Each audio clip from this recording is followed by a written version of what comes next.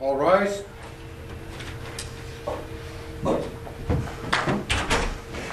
On the record. May be seated. Okay, We ready to proceed with Mr. Bernard? I'm here as uh, Ian Freeman today, just for the record. Okay, Ian, I have Ian Bernard, in parentheses Freeman. So you, you prefer to be Ian Freeman? I would prefer to be Ian Freeman today, yep. Okay, now, uh, just for the record, uh, you filed a motion to dismiss on March 30th. I have denied that motion. Uh, Nothing contained in that motion is applicable to this matter. Is that uh, for You have clarification? also filed a, we're going to call it a motion for reconsideration. You have uh, entitled it Notice of Estoppel and Default Judgment, which starts off, in my affidavit dated March 4, 2010, I made several unrebutted statements regarding my explicit lack of consent to your society and therefore its statutes and ordinances. I have denied this motion for reconsideration. So, stay ready to proceed? We are. Uh, Okay, we'll call Linda Pizarro.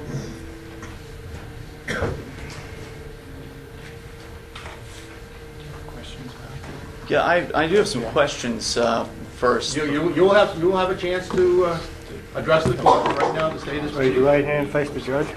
Raise your right hand. Testimony you about to give in the matter. Ob- object. I object. You solemnly swear to tell the truth, the whole truth, and nothing but the truth, so help you God. I do, sir.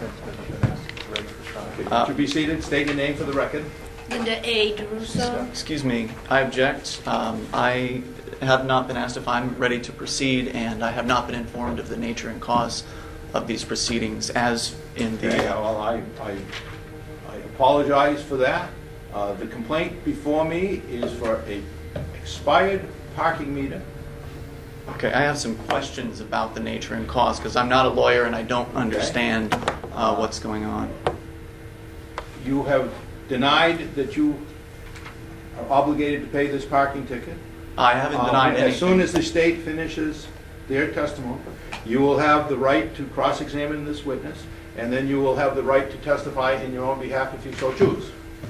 With all due respect, I'm not here to argue or deny. I have questions about the nature and cause of these proceedings before they proceed. So, um, if you don't mind, I would like to uh, to have those answered so I can. I'll let, I'll, I'll- I'll let you, I'll let you, I'll let you start by asking question one, and if I decide after question one that your questions are irrelevant or immaterial, then we will proceed with this matter. So, Okay. will you be able to proceed without me um, being informed to the nature and cause of these these The nature, proceedings? nature of this is that you were at a parking meter uh, Well, there's- between the hours of 8 AM and 5 PM. There's had- more to it had- than that. And at the time when that parking meter had expired.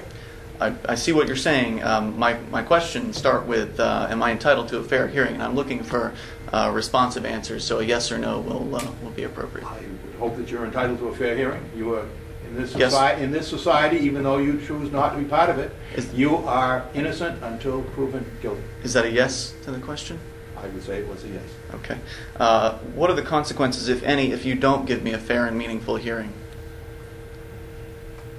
So if you think that uh, you haven't had a fair and meaningful hearing, uh, your recourse is to file a letter with the Judicial Conduct Committee. If it's determined that there has not been, if the committee determines that there hasn't been a, a fair, uh, meaningful hearing, then what would the consequences be for you? I would get some kind of a letter from them telling, telling me that uh, I did something wrong. Okay, I appreciate the information. Um, I have been charged with a, a crime. Is that correct? No. No.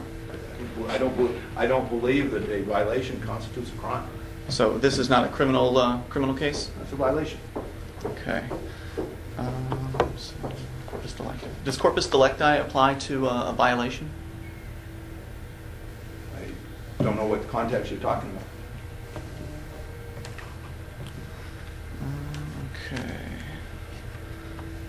So, uh, if this is not a criminal matter, is it a civil matter? No, it's a violation. I think, believe that violations are treated as non-criminal violations. I don't have the statute in front of me, but I believe that's the way they're classified. Okay.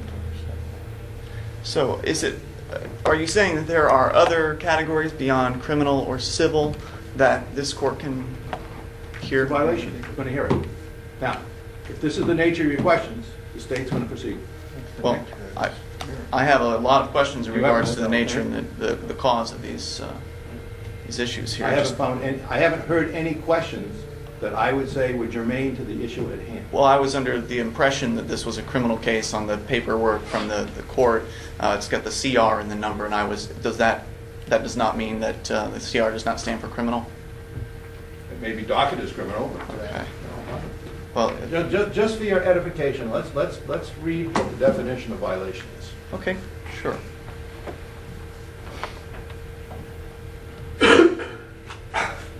Okay, well, let's read right off here. The provisions of this section, and this is under classification, classification of crimes. The provisions of this section govern the classification of every offense, whether defined within this code or by any other statute.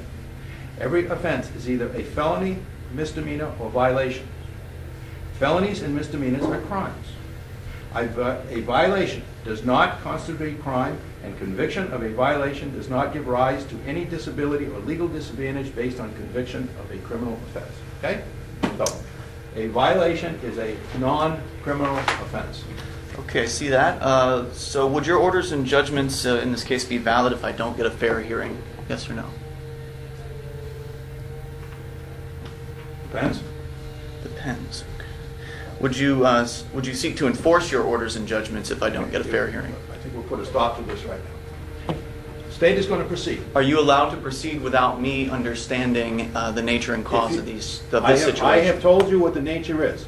If you are a in lawyer. any way limited, so that you do not understand the plain English description that I have just given you, please tell me.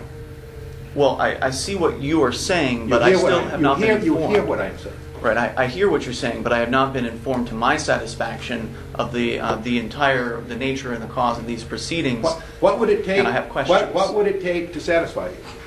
The answers to my questions. And I've answered every question. There are more. Tell you what we'll do. You've got them all written out there? I have a Why lot don't of you give the bailiff the list of your questions? I will look at your questions, and if I decide Well, that I any of those prefer to have- questions, and if I decide that any of those questions should be answered, I'll answer it. If I decide that none of those questions are germane to these proceedings, we will proceed. I appreciate the offer. Um, my questions have my legal strategy and my notes. Um, plus, uh, I, I would uh, prefer to have these questions answered on the record. We are going to proceed. So, if you insist that, uh, you know, I object to this uh, Okay? because I've not been I- informed. I've noted your objection, and I've told you that if you do not agree, or you think you have been in any way prejudiced, or you do not think that I have afforded you an opportunity for a fair trial, that your recourse is to complain to the Judicial Conduct Committee. For, for the record, I we're not going to sit here for the next few hours listening to you have these questions, ask these questions, which are not germane to these proceedings. For the record, I take exception to that, I and these questions are entirely that, relevant. And I have told you what your recourse is. Proceed. Thank you. Would you please state your name and identify yourself for the record? Uh, My name is Linda A. DeRusso. I work as a parking enforcement officer for the city of Keene. And how long have you been employed as a parking enforcement officer with the city? of Uh, Keene? 10 years, 3 months, and 10 years. And um, what are your duties and obligations as a parking enforcement officer? To enforce the downtown area or greater Keene of any and all parking ordinance violation. And uh, as a- as a result of that, are you familiar with the parking ordinance uh, regulations for the city? Yes, sir. Directing your attention to November 14th of 2009, at approximately 11 a.m., were you on duty? I was, that was a Saturday. Okay. So you recall it was a Saturday? Yes. Okay, and- and where were you, uh, where were you working at that time? At that time, I was on Railroad Street, that's off of Main in downtown Keene. Okay. And um, what, if any, observations did you make uh, about a car parked uh, near Michelle's or Michelle's restaurant on Railroad Street? That would be the first metered space on Railroad Street on the north side, and there was a vehicle parked there, and it was expired, at which time I issued a violation for expired vehicle. Okay, and what was the registration of that vehicle? It was a Florida registration, and it was um, 311 XBJ, Florida. It was a maroon or red in colored Subaru. May I approach your honor? Yes, you may. We sent you copies of these. You did.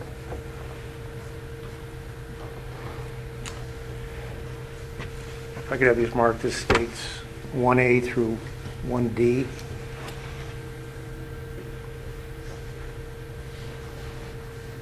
For identification purposes.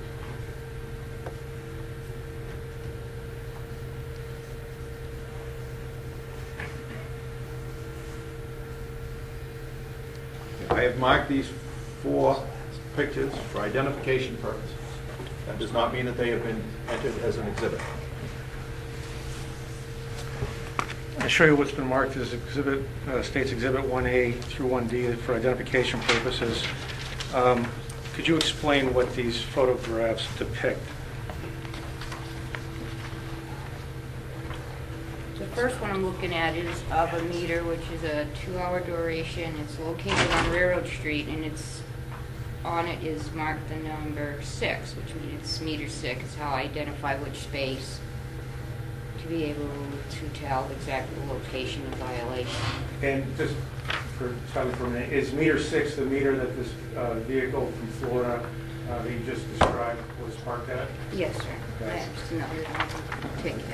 And does the meter indicate uh, the hours of operation that the meter is required to be set? Yes, it does. In the second photo, it says hours of operation, Monday through Friday, eight to five. Um, I I mean, Mo- Monday through Saturday, excuse me, eight to five. Okay. And um, does the third photo also depict um, the Same- parking space? It, it does, and the fourth as well. Okay. And are those all fair and accurate uh, depictions of the meter and the space as it existed back on November uh, 14th, 2009? Same, yes, same as exists today. Okay. Move to strike the ID and have none disposed of, sure. Does Mr. Freeman have any objection? Can you uh, restate the, the uh, motion? To have, to have those four pictures, which have been marked for identification, to be entered as a full exhibit. May I take one, uh, one more look at uh, You may. them prior to that?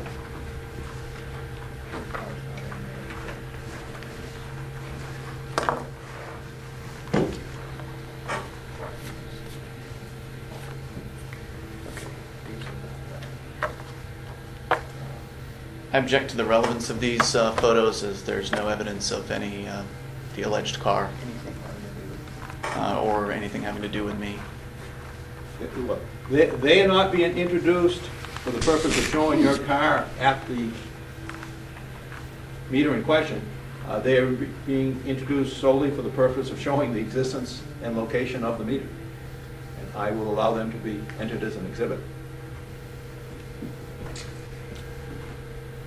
With regard to, um, uh, what is the process that you undertake when you see a car at a meter uh, and and the meter is required to be fed and the meter is expired?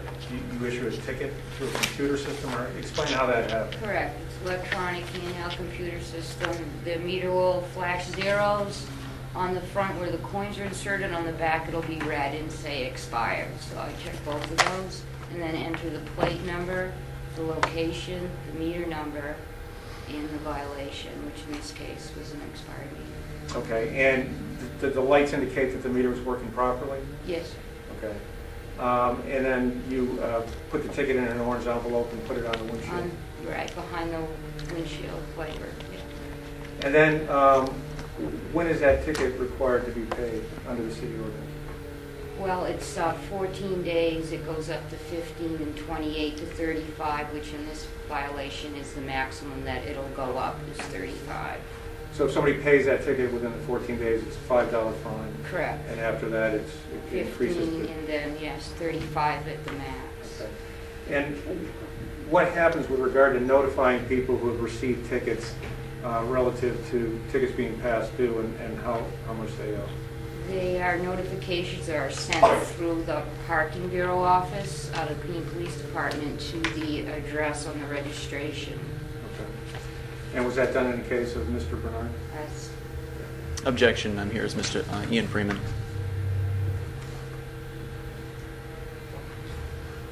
Also received a copy of that. I did.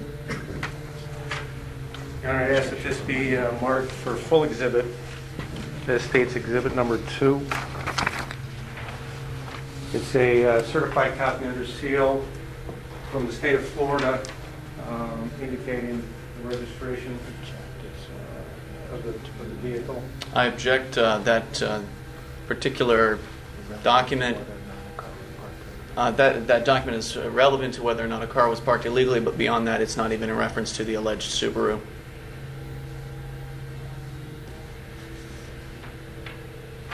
Not being introduced for the purpose of showing the car was legally parked. It's being introduced for the purpose of showing that this car was... If the court will observe, No, I'm, uh, I'm looking, I'm looking at it. This, this, this was, shows a a Toyota.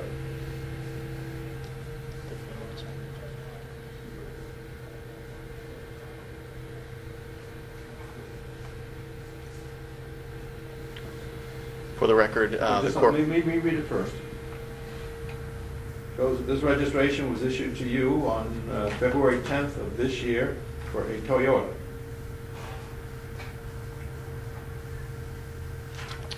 For the record, the uh, defendant has, or the uh, witness has already indicated that the uh, vehicle in question is a Subaru. Right. Subaru with the same registration number that may or may not have been transferred from that Subaru to this Toyota. And your objection is that the state at this point uh, hasn't shown that uh, the registration that was on the Subaru in 2009 belonged to you. That's the nature of your objection, right? Say so? Okay. I will take your objection under advisement until I uh, hear the rest of the story. In the meantime, this is introduced as an exhibit. You ran the the plate based on, or you got the information on Mr. Bernard based on how? Objection, I'm here as uh, Ian Freeman today. Mr. Bernard. For, for purpose of this, Ian Freeman is, Freeman is AKA Ian Bernard. I would Okay. prefer if the uh, prosecutor would uh, use my current name. Okay? How did you get the information on uh, Mr. That would have been run Freeman? through our office staff. And um, uh, then notices were sent out, is that correct? Yes. Have no further questions? Do you have any questions of I Officer DeRusso? Certainly do. Uh, What was your first name? Linda, Linda. Linda, um, do you have a copy of the the ticket at at hand? Do you have that? I do now. Great. Uh, Is this ticket consistent with the New Hampshire Constitution? Objection? How was that relevant? Uh, Well, I mean, does the Constitution apply to this, uh, this court and these proceedings? I would hope so.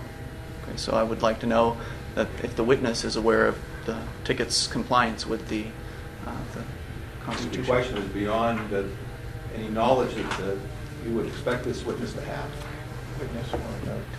Did, uh, Linda, did you swear an oath to the New Hampshire Constitution? Objection, relevance? Sustained? Uh, I have to know if this uh, witness is an She has actual... been, she has been properly sworn in before this court.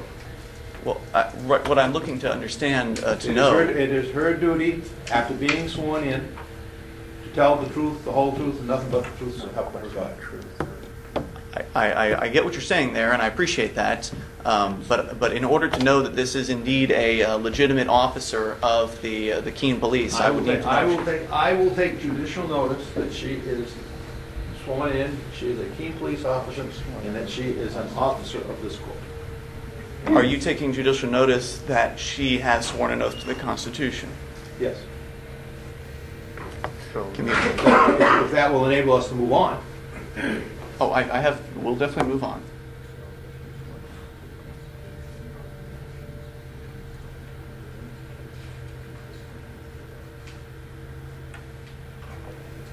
Would you say, uh, Linda, that the actions that you've taken in this case, uh, in regards to issuing this ticket, are consistent with your oath to the New Hampshire Constitution? Objection, Your Honor, Why relevance? don't, why don't you ask her if the actions that she has taken are consistent with her training as a parking enforcement officer? Well, it's my, it's my understanding that the, uh, the New Hampshire Constitution, if I may submit the uh, New Hampshire Constitution's Bill of Rights, uh, does that need to be submitted, or is it just taken as a part Take of the judicial notice. proceedings? Uh, Uh, Article 1, just for the record, Article 1, uh, equality of men, origin, and object of government. All men are born equally free and independent, therefore, all government of right originates from the people, is founded in consent, and instituted for the general good. Article 2, natural rights. All men we have. will- We, will- we, we, we will take judicial notice. The state of New Hampshire has adopted the Bill of Rights. Just for the record, Article 2, natural rights. All men have certain natural, essential, and inherent rights, among which are the enjoying and defending Mr. of. Mr. Freeman,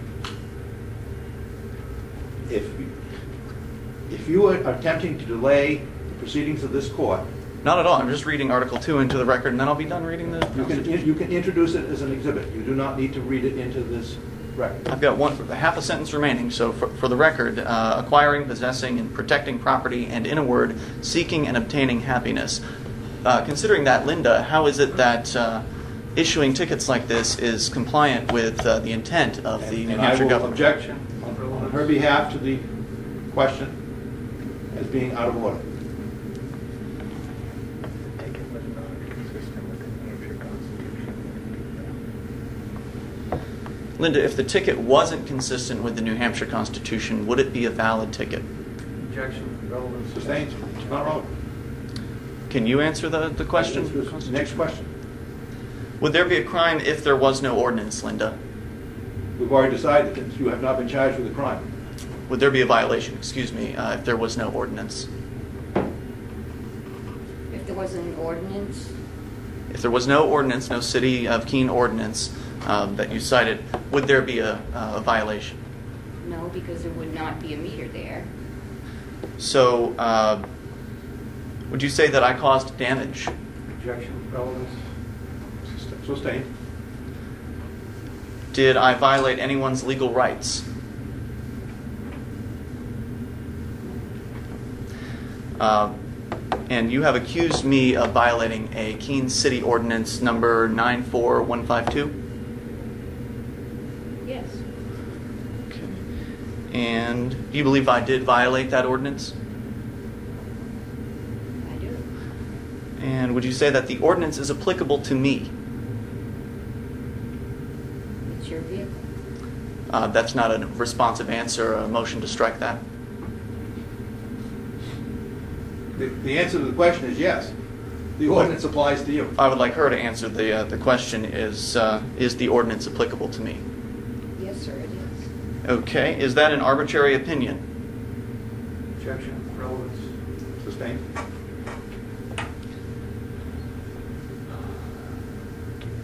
Is uh, your statement that this, the ordinance is applicable to me based on facts within your, uh, currently within your knowledge? It's based on facts. And uh, can you tell me factually what is an ordinance?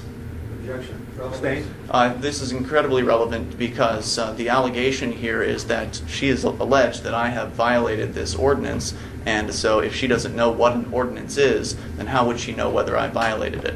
Move on to the next question. Uh, for the record, I take exception to uh, that. Uh, let's see. Do you have, uh, Linda? Do you have facts currently within your in, with, currently within your knowledge to prove when, where, why, and how this ordinance actually became applicable to me? Objection, relevance. Sustained? The uh, relevance is that the again uh, the allegation Second, is Just a that second.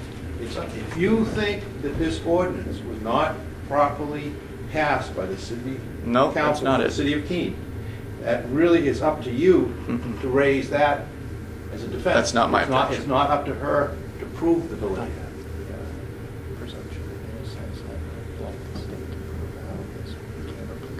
I, uh, I have the presumption of inno- innocence, and I'm, I would like the state to be able to, or the whoever, to prove that this ordinance is applicable to me. That has yet to have been uh, made clear in this in this instance. I'm not challenging the validity of your ordinance within your society. I'm sure it's entirely valid, but uh, I'd like to know exactly the facts of how this became applicable to me. These ordinances, all of them.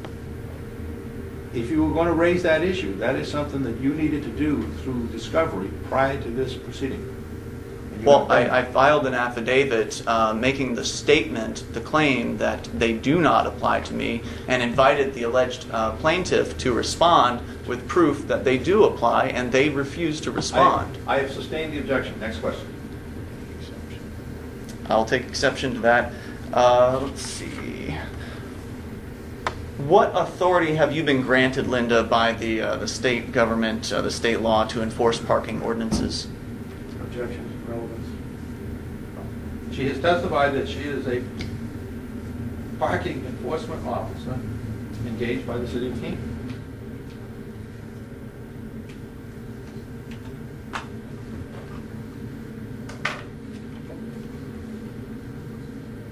Is uh, enforcing parking uh, meters one of the uh, explicit things that the New Hampshire Constitution has granted municipalities to be able to uh, to do? Objection. Sustained. Where does your authority come from, Linda? Objection. Sustained. This is, uh, goes straight to the nature and uh, cause of these uh, proceedings, which I still don't The- understand. The issue before me is whether or not you own a Subaru with that license plate that was parked at that meter in November of last year. That's the issue before me. The issue before... Frankly, I'm not sure that the city of Keene has proven that, but. Okay. So you're, the you're, issue- you're going at this in the wrong direction. I see where you're coming from. The issue before me is trying to comprehend, as a non-lawyer who doesn't understand these proceedings, what the nature and cause of uh, all of this is, including the issue of jurisdiction. Is it uh, your position that I- It's my position that this court has jurisdiction over this matter, and that the nature of One these moment. proceedings has been made eminently clear to you. is it your opinion that uh, you have uh, that excuse me is your opinion you have jurisdiction arbitrary? Absolutely not. So it's based on facts currently within your knowledge. Do you have any more questions of this witness, or would you like me to just take this matter under advisement? I would, I would like to get, yeah, I'd move to, to strike that as non-responsive. I, I do have a few more questions, but now we are Do you have addressing any, do the you have issue any of questions that jurisdiction. are relevant to this? If you have no more Is questions jurisdiction relevant? that are relevant to this matter, I am going to dismiss this witness. The state's case will be rested. You are going to have a chance to testify in your own behalf. Is it the court's position that jurisdiction is not relevant to uh, these proceedings? I think jurisdiction is very relevant, and I've already told you that this court has jurisdiction over this matter. And you have assumed that jurisdiction uh, exists? I am not assuming anything. It's not- What facts are you facing? Just a second. Do you have any more questions that are relevant to this matter? If not, Will we be this able- witness will be dismissed. I will have some questions. Will we be able Do you- to do you address have any- do you jurisdiction have any questions right now? Yes. Then you ask them. Will we be able to address jurisdiction after she's done? Because I'm happy to let her go. I've already, I've already told you, this court has jurisdiction. If you want to take an appeal saying this court does not have jurisdiction, that's your right.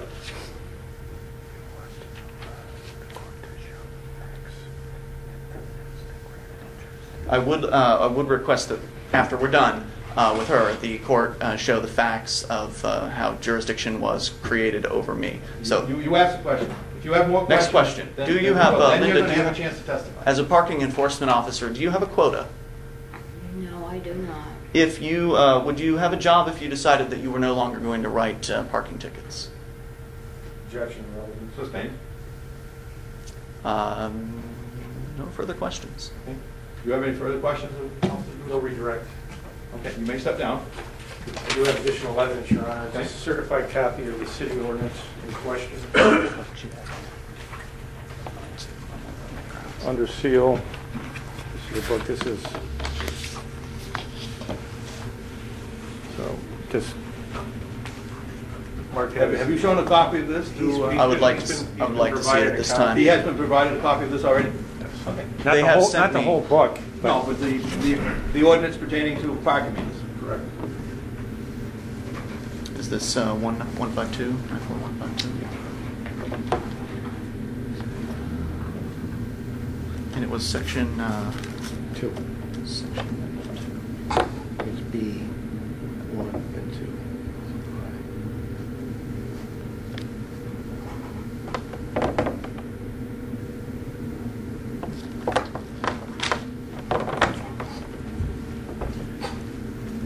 I uh, object to these ordinances as they've yet to been proven to have any applicability to me. I just asked that you mark this, oh, This is certified copy of the whole code. I just asked that it be taken as exhibit, state's exhibit number three. I will take it as an exhibit, I won't mark it, I'll give it back to you unmarked.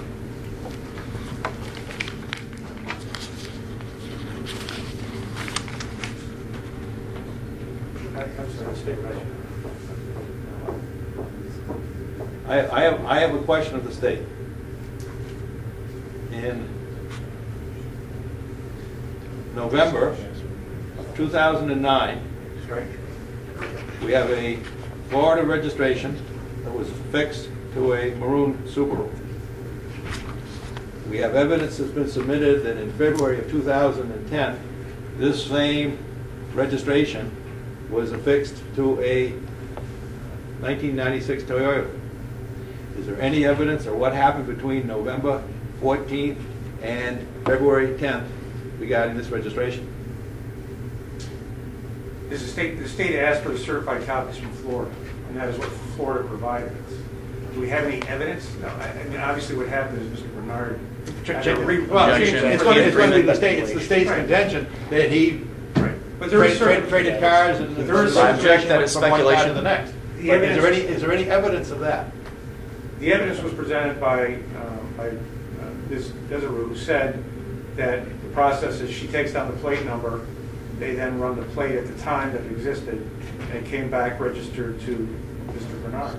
That's the evidence, coupled with the the evidence from the state of Florida that that same, same plate number is still associated Had previously with- been affixed to, an- to another vehicle. Right. I object, that's still associated. speculation. Now, do you wish to come up here and testify on your own behalf? I don't really have anything to say, as I still don't understand the nature and the cause of Okay. these If proceedings. you have nothing further to say, then I will take this matter under advisement. All right. For the record, the uh, registration was not entered into evidence, and uh, for the record, I appreciate your uh, calm demeanor. Sir?